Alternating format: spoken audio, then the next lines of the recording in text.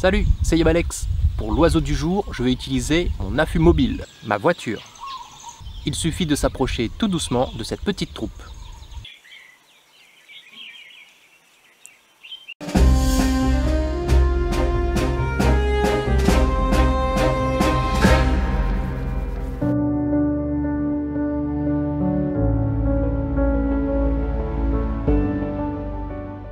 Vous l'avez reconnu? C'est le bec rose.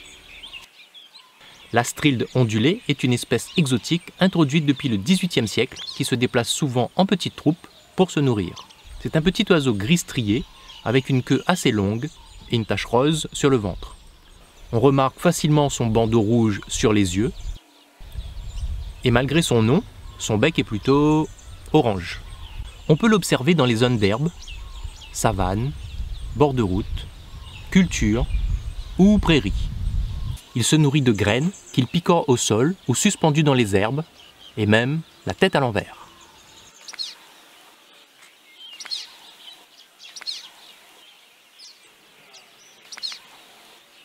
Sur une zone de nourrissage, il se mélange volontiers avec le coutil ou le cardinal.